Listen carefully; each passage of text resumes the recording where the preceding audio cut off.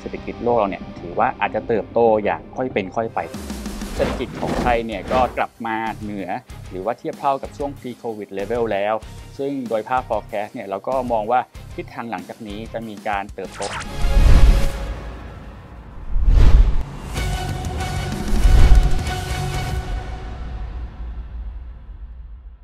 สวัสดีครับ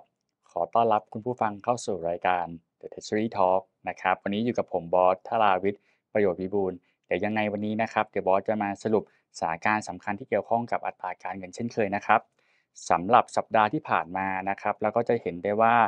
มีตัวเลขเศรษฐกิจมากมายที่ออกมานะครับเดี๋ยววันนี้เนี่ยเดี๋ยวบอสจะมาสรุปทั้งหมด 3 ประเด็น ซึ่งบอสคิดว่า 3 ประเด็นเนี่ยน่าจะมีประโยชน์กับคุณผู้ฟังนะครับ ประเด็นแรกเนี่ยก็คือทิศทางของเศรษฐกิจโลกในปีหน้า จากข้อมูลของทางฝั่ง IMF เป็นข้อมูลล่าสุดนะครับเขามองว่า GDP global ในปีนี้เนี่ยก็น่าจะโตอยู่ราวประมาณ 3%ส่วนปีหน้าเนี่ยตัวเลขมีการปรับลดลงนิดนึง เหลือเพียงแค่ 2.9%ซึ่งตัวเลขที่ลดลง 0.1%ในส่วนนี้นะครับ ทางตลาดก็มองว่าการเติบโตทางเศรษฐกิจเนี่ยอาจจะมีการชะลอตัวไป หรือว่าอาจจะมีความเสี่ยงจากการเกิด recession หลังจากนี้ ส่วนพี่ใหญ่จีนเองเนี่ยก็มีการปรับตัวเลขเศรษฐกิจที่ลดลงลงไป ซึ่งปีนี้นะครับเขาคิดว่าตัวจีนเองเนี่ยน่าจะมี GDP growth เนี่ยราวๆประมาณ 5.1% ส่วนปีหน้าเนี่ยอาจจะมีการปรับลดลงเหลือเพียงแค่ 4.4%ซึ่งสาเหตุสำคัญเนี่ยผมเข้าใจว่าคุณผู้ฟังก็น่าจะทราบอยู่แล้วว่าอสังหาจีนตอนเนี้ก็ถือว่าเป็นพิษพอสมควรเกี่ยวกับเศรษฐกิจ รวมถึงภาคของ consumer spending ในประเทศของฝั่งจีน ที่อาจจะดูไม่ค่อยแข็งแกร่งเท่าไหร่นะครับซึ่งเราเห็นตัวเลขแบบนี้แล้วเราก็คงมองนะครับว่าภาพปีหน้าเองเนี่ยตัวเศรษฐกิจโลกเราเนี่ยก็ถือว่าอาจจะเติบโตอย่างค่อยเป็นค่อยไปต่อไป นี่ก็คือประเด็นแรกนะครับ ส่วนประเด็นที่2เนี่ย เราก็ทราบกันแล้วว่าสัปดาห์ที่ผ่านมามีการประชุมกรงงของทางประเทศไทย แล้วก็คณะกรรมการนะครับก็มีมติเอกฉันให้คงอัตราดอกเบี้ยต่อที่ 2.5%ในปีนี้ ซึ่งการประชุมในครั้งนี้นะครับก็มีผลที่ถือว่าเป็นมติเอกฉันเลย ก็ถือว่าเป็นการปิดประตูการขึ้นอัตราดอกเบี้ยครั้งต่อไปสำหรับภาคเศรษฐกิจปี 67 แล้วก็ปี 2568 เนี่ยก็ยังมองว่ายังขยายตัวได้อยู่ ถึงแม้ว่าภาคการส่งออกเนี่ยครับยังชะลอตัว แต่ก็จะมีการฟื้นตัวที่เรียกว่าอย่างค่อยเป็นค่อยไป ส่วนตัวเลขเงินเฟ้อก็ถือว่ามีแนวโน้มที่สูงขึ้นจากการขยายตัวของภาคเศรษฐกิจ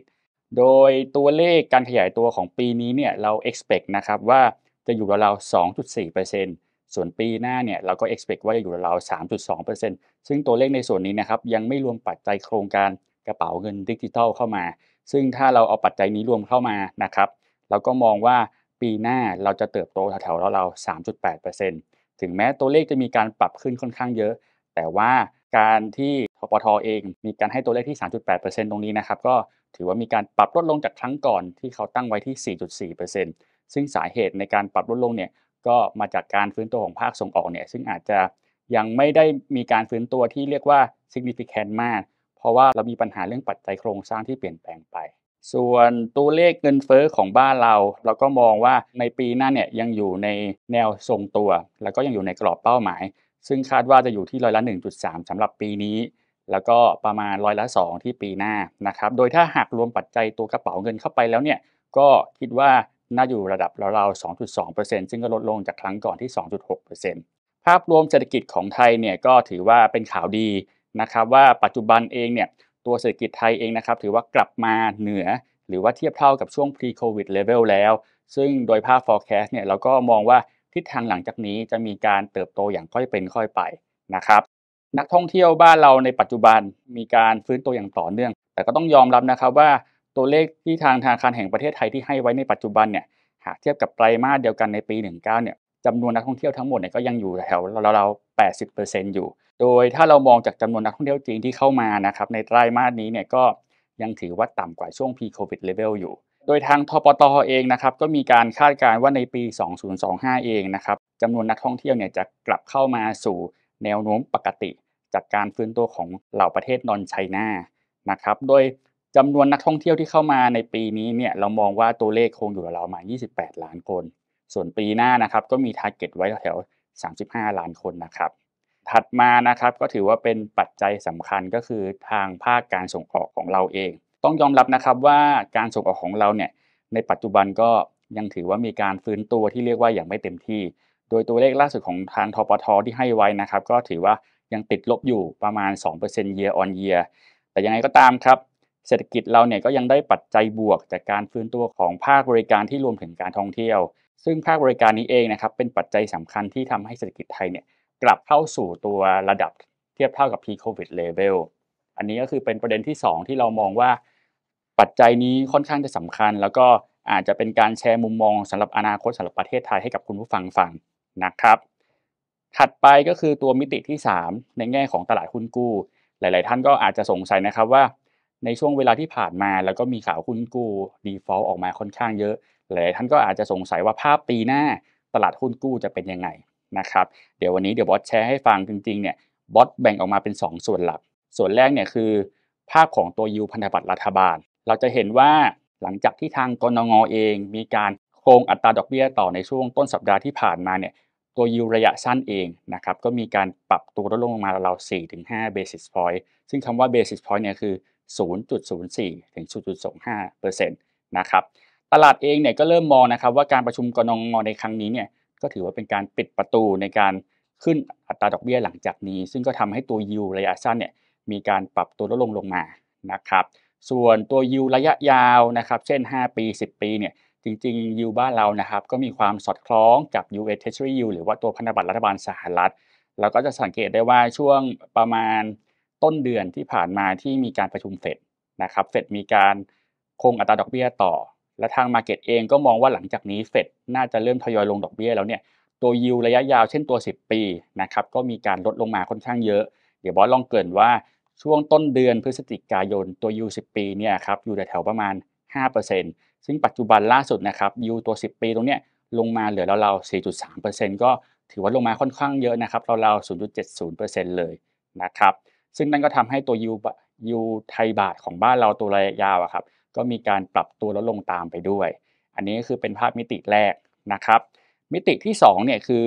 ผลตอบแทนหรือว่าตัวยูของทางฝั่ง corporate bond จริงๆ แล้วเนี่ยตัว corporate bond ตัวผลตอบแทนในส่วนนี้นะครับ มันเกิดจากภาพของ government yield บวกกับ credit spread นะครับซึ่งคำว่า credit spread เนี่ยจริงๆ มันก็คือค่าความเสี่ยงความเสี่ยงหนึ่งที่มาจากภาพของบริษัทที่ปล่อยหุ้นกู้นะครับถ้าตัวบริษัทเนี่ยที่ปล่อยหุ้นกู้เนี่ยมีความแข็งแกร่งทางด้านการเงินเนี่ย ตัวเครดิตสเปรดในส่วนนี้ก็จะมีค่าต่ำลง ซึ่งพอมีค่าต่ำลงแล้วตัวผลตอบแทนพันธบัตรตรงนี้นะครับก็มีค่าต่ำลงไปด้วย ในทางกลับกันนะครับถ้าบริษัทที่ปล่อยหุ้นกู้ในส่วนนี้ มีความเสี่ยงที่จะ default นะครับเครดิตสเปรดตรงนี้ก็จะมีการปรับค่าที่สูงขึ้น ก็เลยทำให้ผลตอบแทนเนี่ยปรับสูงขึ้นด้วย ซึ่งโดยมุมมองของบอสเองนะครับบอสมองว่าภาพปีหน้าตัวฝั่งของ supply ของตัวหุ้นกู้เนี่ย จะมีตัวที่ครบกำหนดค่อนข้างที่จะเยอะทำให้มีสัดส่วนของตัวหุ้นกู้เนี่ยที่จะ roll over ต่อไปหรือว่าเออมีการปล่อยหุ้นกู้ต่อไปเนี่ยมีจำนวนที่ค่อนข้างเยอะไอตัวแปรนี้ครับบอสก็เลยมองว่าอาจจะเป็นปัจจัยที่ทำให้ตัว credit spread เนี่ยมีการปรับตัวสูงขึ้นหลังจากนี้ แล้วก็จะส่งผลให้ผลตอบแทนตัว corporate bond yield พวกนี้มีการปรับตัวขึ้นด้วยในภาพของปีหน้า และส่วนมิติสุดท้ายนะครับคือในแง่ของตัวค่าเงินบาท คุณผู้ฟังหลาย ๆ ท่านก็อยากจะเห็นมุมมองว่าทางเรามองไงกับภาพเงินบาทหลังจากนี้ อาจจะต้องเกินก่อนนะครับ หลังจากที่เฟดมีการประชุมแล้วคงอัตราดอกเบี้ยมันเนี่ยตัว USD Dollar Index เนี่ยมีการปรับลดลงจาก 105 มายัง 103 ซึ่ง 105 เนี่ยอยู่แถวๆประมาณต้นเดือนพฤศจิกายน เราจะเห็นว่าตัวปัจจัยที่ Market เขามองว่าหลังจากนี้เฟดจะเริ่มลงดอกเบี้ยในปีหน้าเนี่ยเริ่มส่งผลแล้วนั่นก็เลยทำให้ตัวค่าเงินบาทเราเองเนี่ยกลับมาแข็งค่าขึ้น ซึ่งตอนนี้เนี่ย อยู่แถวๆราๆประมาณ 35ถึง35.2 นะครับ ในปัจจุบันเราต้องยอมรับนะครับว่าค่าเงินบาทเนี่ยมีความผันผวนที่ถือว่าค่อนข้างสูง คุณผู้ฟังเชื่อไหมครับว่าในช่วงสัปดาห์ที่ผ่านมาที่มีการประชุมกรงงเอง ตัวบาทเราเองเนี่ยมีการแกว่งขึ้นวันหนึ่งเนี่ยประมาณ 70-80 สตางค์เลย ซึ่งก็สะท้อนว่าสถานการณ์ตอนเนี่ยตลาดเนี่ยค่อนข้างที่จะเปราะ แล้วก็เซนซิทีฟกับข่าวที่ออกมานะครับโดยมุมมองของเราเองนะครับเรามองว่า ถ้าเงินเฟอ้อของทางสหรัฐหลังจากนี้นะครับมีแนวโน้มที่ลดลงเรื่อยๆ พร้อมทั้งตัวเลขการว่างงานเนี่ยมีการปรับตัวสูงขึ้นเรื่อยๆเนี่ยซึ่งก็ตรงเป้าหมายกับที่ทางเฟดตั้งไว้เนี่ยเรามองว่ากลางปีหน้าเนี่ยเราอาจจะได้เห็นที่เฟดเนี่ยจะเริ่มลดดอกเบี้ยจริง ๆ ซึ่งที่ทางเราไปแทร็กข้อมูลมา เราเจอว่า Market เนี่ยจะเริ่ม price in หนักๆ ในส่วนนี้เนี่ยราวๆ2-3 เดือนก่อนหน้าที่เฟดจะมีการลดดอกเบี้ยจริง ๆ เราก็เลยมองว่าถ้าเฟด เริ่มลดตัวดอกเบี้ยสหรัฐเนี่ยราวๆประมาณ quarter 2ปีหน้า ตัวบาทเราน่าจะกลับมาแข็งค่าขึ้นที่จะเห็นชัดๆเนี่ยในช่วง quarter หนึ่งของปีหน้า ซึ่งทางฝั่งเทคนิคเองในตอนนี้นะครับเรามองว่าตัวแนวรับใหญ่เนี่ยอยู่แถวๆ34 บาท เราก็จะเห็นว่าเรนจ์ตอนนี้เนี่ยสปอตเนี่ยอยู่แถวๆประมาณ 35 กลางๆใช่ไหมครับแปลว่าถ้าตามหลักฝั่งเทคนิคเนี่ยเรายังมีแก็บประมาณบาท 50 ที่ตัวบาทจะลงมาได้ เราก็มองว่าถ้าปัจจัยยังเป็นอย่างนี้อยู่ เราก็มีสิทธิ์ที่จะเห็นบาทเนี่ยกลับมาแข็งค่าที่แนวรับนี้ก่อนนะครับ อันนี้ก็คือสิ่งประเด็นสำคัญสำหรับสัปดาห์ที่ผ่านมาที่บอสอยากจะเล่าให้กับคุณผู้ฟังฟังนะครับคุณผู้ฟังสามารถติดตามกระแสข่าวและความเคลื่อนไหวในตลาดได้กับทาง Bangkok Bank SCB Podcast ได้ทุกเช้าวันจันทร์ที่ 1 และ 3 ของเดือนสำหรับวันนี้บอสขออนุญาตลาไปก่อนนะครับ สวัสดีครับ